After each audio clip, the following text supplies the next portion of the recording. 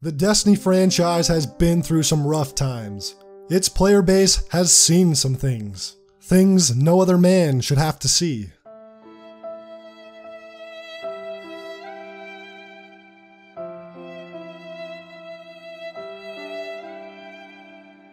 Vanilla Destiny, for example, could be brutal at times. The drought after Taken King felt like an eternity, but there have been a few moments in time where Destiny really was in a great place, in what I consider to be the best times to play in Destiny's history. One of those times was during House of Wolves. At this point in the game, with the introduction of Etheric Light, all gear from Vanilla Destiny and the Dark Below were able to be brought up to the House of Wolves power level. This meant running old content like Vault of Glass and Crota's End was viable because the great weapons from those raids could be upgraded to current level. This also meant for things like Iron Banner and Trials of Osiris, you could bring in old weapons from Vanilla and Dark Below, like your God rolled Felwinter's Lie or something else.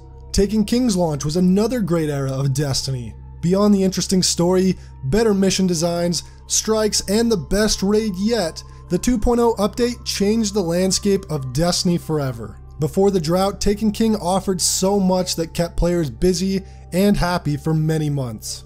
In Destiny 2, the best time to play was, without a doubt, Forsaken. Forsaken gave us so much content, most importantly, good content. Something Bungie has forgotten how to make recently. Forsaken was one of the most enjoyable times to play Destiny, and during those three months, my friends and I felt like the game had returned to form, and that classic Destiny magic feeling was back. But the time in Destiny's history when the state of the game was at its peak, in my opinion, and was nearly perfect, was during Age of Triumph in Destiny 1's third year. Age of Triumph was a free update in the spring after Rise of Iron and is, without question, the greatest update Destiny has ever seen. Age of Triumph improved many aspects of the game and kinda screwed up one portion, but to start, let's talk about the biggest thing it did for PvE content. Updating the raids. Before Age of Triumph, gear from King's Fall and Wrath of the Machine were the only weapons and armor that could be upgraded to current power levels. With Age of Triumph, Bungie brought all four raids up to 390 light level and included all the weapons and armor from those raids.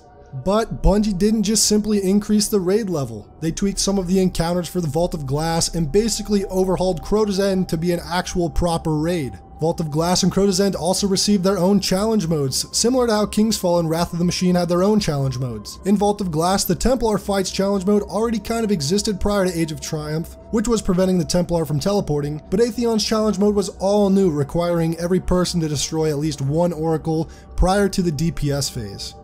Crota's End also got some much needed attention with the addition of new mechanics and challenges thrown in that made the raid feel much more complete and was a major improvement compared to when it launched. In addition to the improved raids, Bungie introduced something amazing to the game that definitely belongs in the current game as well.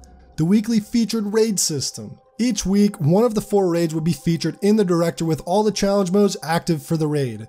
So, for example, when Vault of Glass was the weekly featured raid, both the Templar and the Atheon challenge modes were active. When completing these challenge mode encounters, you were granted an armor ornament and an exotic primary weapon.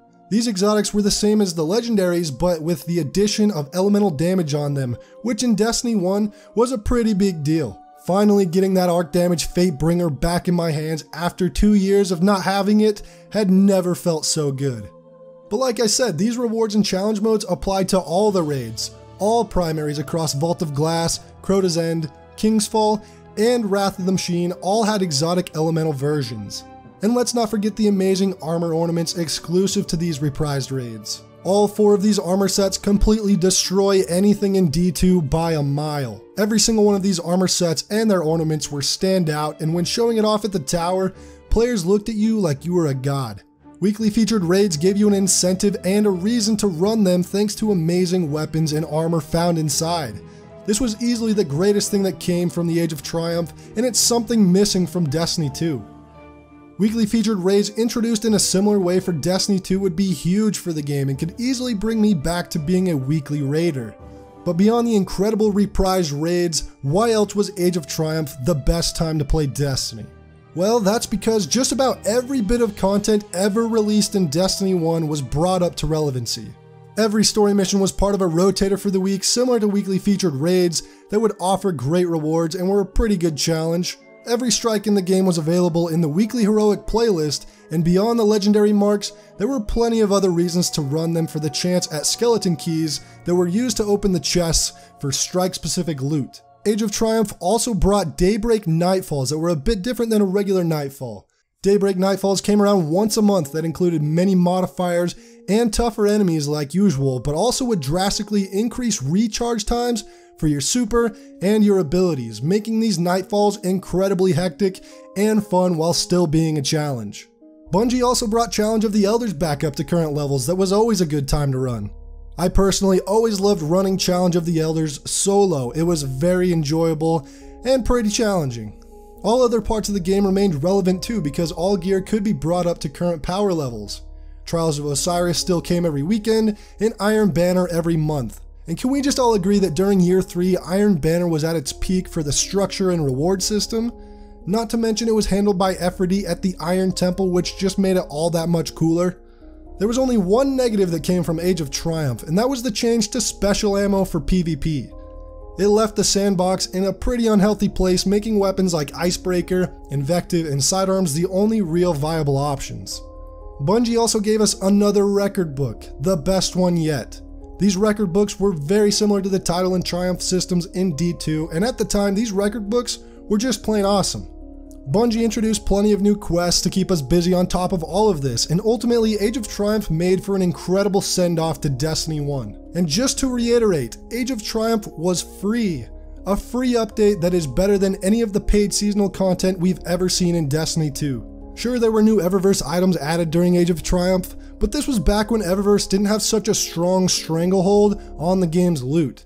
It was a bit more tame back then, and because it wasn't so in your face, a lot of people didn't mind it and didn't have a problem spending any money on it.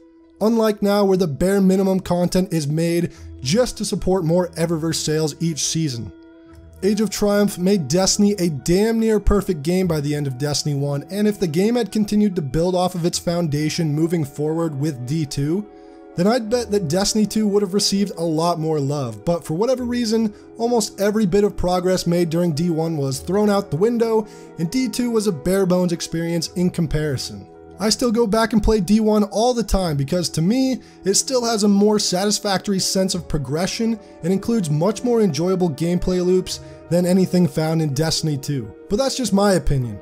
Age of Triumph was when the state of Destiny was at its peak, and it's a shame Destiny 2 still hasn't been able to catch up to its overall quality and gameplay loops. But that's all I have for this video, thanks for watching, I really hope you enjoyed it. Be sure to subscribe for more Destiny content and ring that notification bell so you don't miss any future videos.